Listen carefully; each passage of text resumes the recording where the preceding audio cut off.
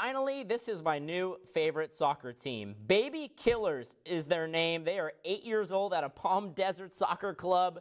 These are some athletes. Look, they're in white there, kicking some goals, having some fun. They won 14 to 1 this morning. Just an incredible showing. And if you got the name Baby Killers, Laura Lee, you can't be bad. You got to Right. be good. They're not messing around. They're ready to win and compete. I love it. Great girls. All right.